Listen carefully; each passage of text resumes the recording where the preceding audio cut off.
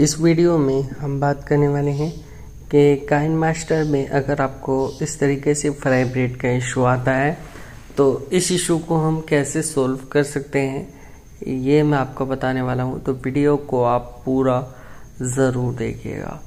देखिए आपके डिवाइस पर डिपेंड करता है ये सब चीज़ें कि वो इस चीज़ को दिखाएगा या नहीं दिखाएगा।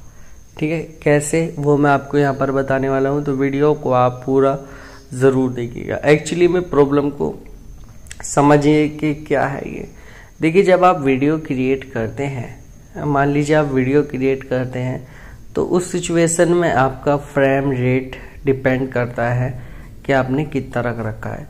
तो एक्चुअली मैं यहाँ पर मैं आपको बताऊँ थर्टी एफ़ से ज़्यादा मत रखिएगा, क्योंकि बहुत ज़्यादा दिक्कत आती है। इससे ज़्यादा ऊपर का F P F P S जो है रखते हैं, क्योंकि उसमें जब आप रखते हैं तो कहीं पर भी आपको एक्सपोर्ट करने में दिक्कत आ सकती है, किसी भी सोशल मीडिया पर डालने में दिक्कत आ सकती है तो इस चीज़ का आपको ध्यान रखना है। और यही इशू होता है इसमें, आप साठ साठ एफ़ पी एस रख देते हैं तो उसमें जो है दिक्कत आती है। तो आप इतना मत रखिएगा, कम रखिएगा। तो इससे क्या, अब यहाँ पर कान मास्टर क्या करता है देखिए, उसको जो है अपने हिसाब से एडिट करने के हिसाब से जो है एफपीएस पर लगा देता है। आपका फ़ोन जितना भी डिपेंडेंट एफपीएस का हो, उतने का ला देता है वो।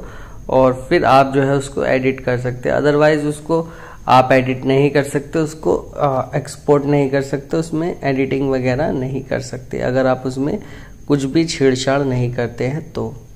तो ये प्रोसेस रहता है। बस इसका सिंपल सा, अगर यहाँ पर आपको वीडियो अच्छी लगी हो तो लाइक कर दीजिएगा। और चैनल को सब्सक्राइब भी कर दीजिएगा।